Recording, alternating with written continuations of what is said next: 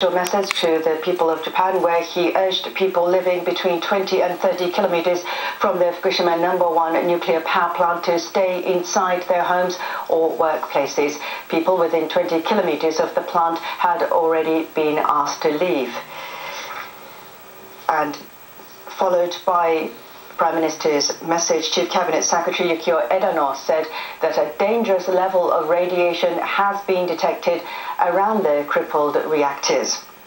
Now, the readings were taken at 10.22 a.m. Japan time. Edano said 400 millisieverts of radiation was detected around the number 3 reactor.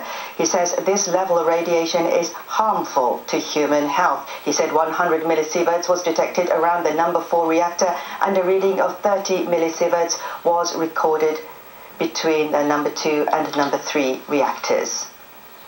So now we are talking about levels that can impact human health. I would like all of you to embrace this information calmly.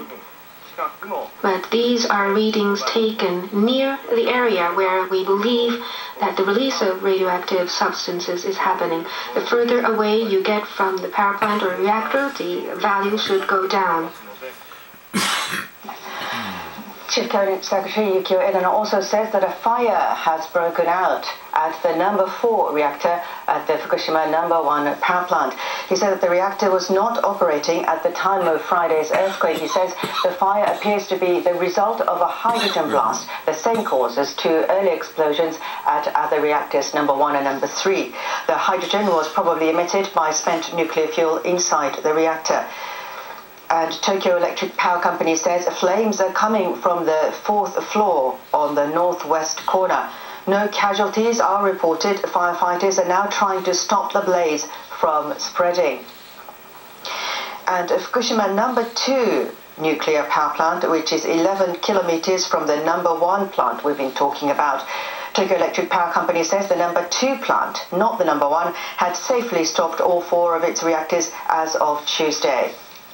There were problems with the reactor's cooling systems after the devastating earthquake on Friday. And after Tokyo Electric replaced their pump motors, the temperatures in the reactors had dropped below 100 degrees Celsius by Tuesday. This is number two uh, power station in Fukushima. U.S. Navy's 7th Fleet says 17 crew members have been exposed to low levels of radiation that was released from the Fukushima nuclear power plant. The crew was on the three helicopters from the aircraft carrier USS Ronald Reagan. They were conducting rescue operations outside Sendai City.